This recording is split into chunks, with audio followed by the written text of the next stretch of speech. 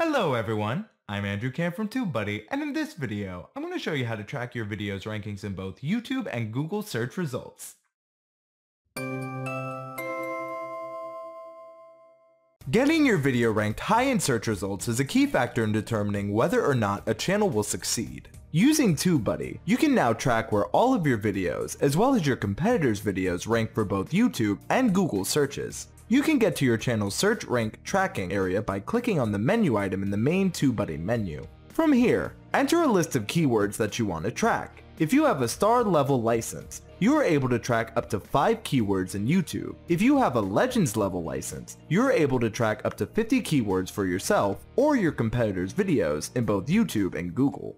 Next, click Ranking Reports to view an existing report or to generate a new one. You'll notice that when the report loads, you'll see a panel of information for each of your keywords. Your ranked videos are listed and highlighted in yellow. The report shows you where the video ranks in YouTube search, as well as Google search results.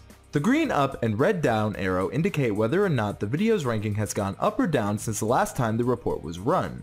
These ranking changes can happen because you optimized a video, because a competitor of yours optimized their videos, or perhaps another channel have uploaded a new video on the topic that are ranking higher than your current video. If none of your videos are ranking for the selected keyword, it will inform you. Please keep in mind that the search rank tracking features gather search results from the YouTube API, so the results might differ slightly from what you see when you perform the same search on your computer. Finally, we offer a scheduling option so that you can receive a weekly or monthly email report showing you your rankings. Let us know in the comments below what do you think about the search rank tracking. We also heard your request to include the license levels on the thumbnail and within the videos, and you can now see them here.